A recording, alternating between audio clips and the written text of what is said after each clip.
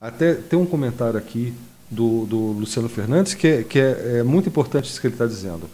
Que ele está dizendo o seguinte: olha, eu gosto da filosofia do software livre, mas o problema é que no Brasil, quem mais reverbera isso eram pessoas extremistas. Aí jogou um monte de pessoas contra. É, não, não é verdade. Tá? Existe um pessoal que realmente é radical nisso. Tá? Existe. É, e eu não considero errado. É apenas uma questão de, de opção deles de serem co coerentes com a filosofia que eles defendem. Ponto. Agora, chegar uma pessoa. É, é, é que, nem, que nem discutir religião, gente. Se você leva um conceito, que é um conceito ético, filosófico, político, para outro domínio, que é o domínio mercadológico, econômico, etc., é, é, e, é claro que vai, que vai ter um choque. Não é porque eles eram radicais. Radicais, por que, que o cara que, que insiste uh, no, no, lucro a qualquer custo não é chamado de radical? Porque esse é o normal. É, é o que está na normalidade, é o que é aceito. Entendeu? Não existe esse, esse, essa coisa. O que, o que existia era a aversão à própria filosofia. Então não importa se você é muito radical ou não é nada radical. Porque se você falar que existe a possibilidade de, de compartilhar, existe a possibilidade de, uh, uh, de você ver o código, existe a possibilidade de você uh, gerar oportunidades para outras pessoas e até ganhar dinheiro com software livre, tá? as pessoas que. Primeira coisa que as pessoas perguntavam, inclusive é, o Cristiano deve ter ouvido essa pergunta aí milhões de vezes, acho que com cinco anos a mais do que eu, porque eu tenho 15, tenho 15 anos de, de software livre, o, o, Cristiano tem mais. Uh, que a primeira coisa que as pessoas perguntam é como é que eu ganho dinheiro com isso? Tá? A, a, a segunda pergunta é: dá para usar Photoshop? Você tá? Porque eu trabalhava na área de web design na época que eu comecei, então eu ouvia isso, mas dá para usar o Photoshop lá, o CorelDRAW, sabe?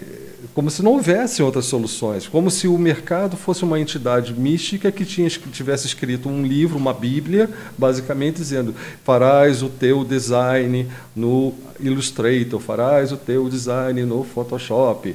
Você vai escrever código no Dreamweaver, na minha época lá, né, quando eu comecei. Como se você não pudesse escrever HTML em qualquer editor de texto. Você está entendendo? Então, essa ideia ela não se mistura com uma mentalidade que está firmada. Mas você pode, é, como o Cristiano falou, é, quando a gente fala assim que não é radical, é por isso. Cara, eu preciso ganhar dinheiro. A empresa que eu estou usando quer, porque quer, que eu mande o formato DocX, não adianta eu odiar o formato DocX, eu vou ter que mandar ou não vou, não vou botar a comida na, na, no prato dos meus filhos. Você está entendendo? A gente não pode ser também chegar a esse extremo. A gente tem que compreender as necessidades e os problemas dos outros. Agora, ao, em paralelo a isso, trabalhos como do Cristiano, o, e do, do, do, Leandro e de outros tantos que estão aí é, dedicando seu tempo gratuitamente a produzir conteúdo sobre software livre, é, é, é, é que vai semeando a curiosidade, vai semeando o conceito, inclusive da forma correta, é, sem a necessidade de entrar em choque com ninguém. Porque o que não pode, e que era que em 2014, que foi a dessa, data dessa palestra que o, que Cristiano citou, em 2014 eu tive um problema seríssimo com um grande blog que tem por aí, que justamente por causa de um, de um, desse tipo de confusão que eu estou falando agora.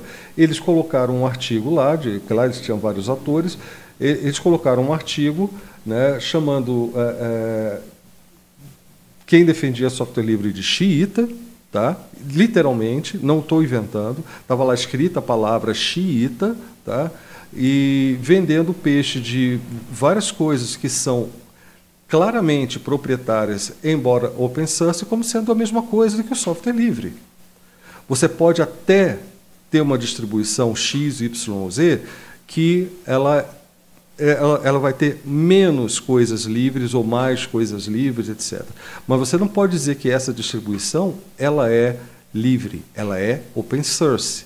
E os conceitos e, as, e os conceitos têm que ser separados. E o dono desse blog foi lá e fez uma, uma, uma um, tentar, tentou fazer um linchamento virtual da minha pobre pessoa, com muito menos seguidores do que ele, para poder reagir. Você ter uma ideia como é que era a coisa, tá? Uh, e foi exatamente um desses que é chamado de Chita que foi lá me defender. Engraçado, né?